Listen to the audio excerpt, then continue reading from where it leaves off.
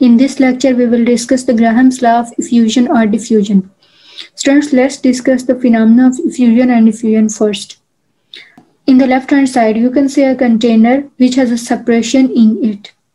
This separation allows the two gases represented in red and green dots to be separated. Gas has a peculiar property of rapid and random motion. So when this separation is removed, gas molecules intermix in such a way to form a homogeneous mixture. This homogeneous mixture is formed because red molecules have a high concentration on the right side of the container and when this separation is removed they move toward the left side and green molecules having higher concentration on left side move toward the right side which means molecules moved from their higher concentration to their lower concentration and form a homogeneous mixture.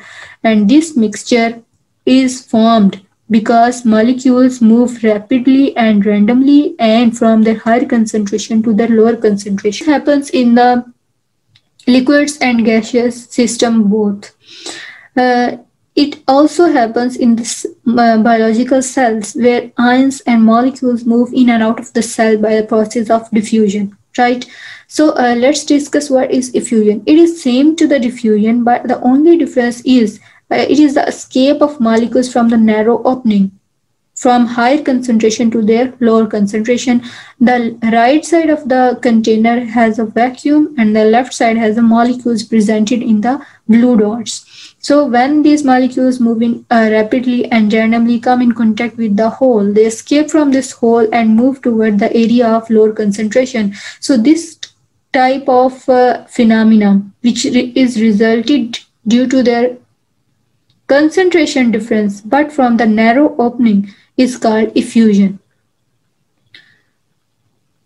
So Graham's law is uh, basically related with the phenomena of diffusion and effusion and it relates the rates of diffusion and effusion with the density and molecular or molar mass. So Graham's found that diffusion and effusion is affected by change in density or change in molecular mass or molar mass of the gas. So according to Graham's law, rate is inversely proportional to square root of density. Higher the gas density, lower will be its rate of diffusion. So in order to eliminate the proportionality sign, we have to use a constant, which is k in this case, and it is multiplied with the 1 by square root of d uh, value of k can be found by multiplying rate of diffusion or effusion with the square root of density. So this is the Graham's equation which can be used for different gases and it can be used to relate the different gases rates of diffusion and effusion. Let's say uh, the Graham's equation for gas 1 is R1 multiplies square root of D1 is equal to K, which is for gas 1. And for gas 2, R2 multiplies square root of D2 is equal to K. So dividing both the equations, K, K will be cancelled out and uh, it will result an answer of 1. And when D square root of D1 by square root of D2 is uh, brought on the right of the right side of the equation, this factor will be inverted. So equation will become R1 by R2 is equal to square root of D2 by square root of D1. As density is uh, related with the molecular mass as D is equal to M by V. Students keep in mind in Graham's law volume, temperature and pressure. All these three quantities are kept as constant quantities. So D will be directly related with the molar mass. We can replace the density with the molar mass as R1 by R2 is equal to square root of M2 by square root of M1. This is the final Graham's equation, uh, which is uh, telling us that rate of diffusion or effusion is inversely related to the molar mass of the gas.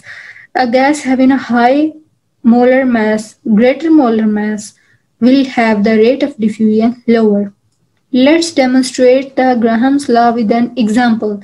This is a glass tube which is 100 centimeter long and it has two openings at its both ends. Both these openings are covered with the cotton soaked in HCl and NH3.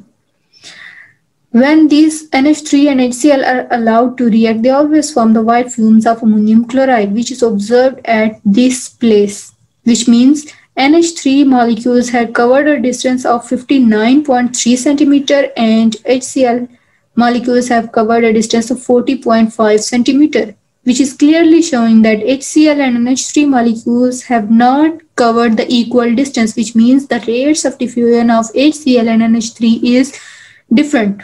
Now apply Graham's equation to this data.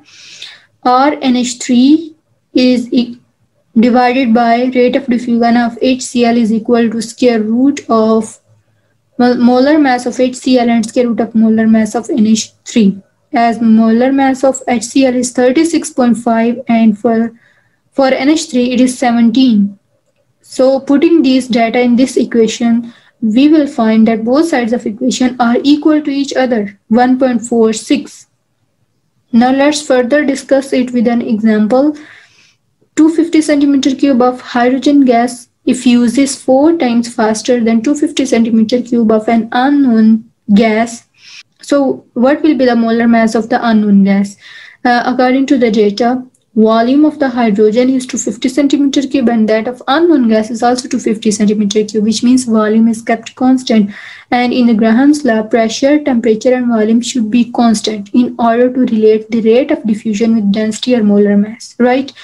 So the rate of diffusion of uh, an unknown gas let's say it is it is x so it will be equal to 1 and rate of diffusion of hydrogen will be 4 Molar mass of hydrogen is 2 gram per mole. So what will be the molar mass of an unknown gas? Apply the Graham's equation, uh, putting and puts the data. As uh, square root is present, in order to eliminate the square, we have to take the square on both sides and it will result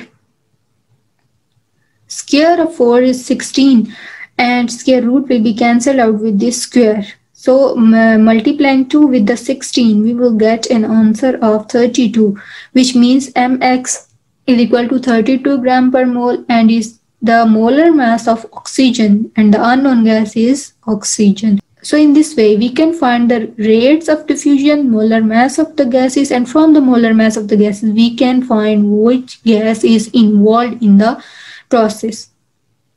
So Graham's law relates molar mass with the rate of diffusion and also relates the density of the molecules with the rates of diffusion.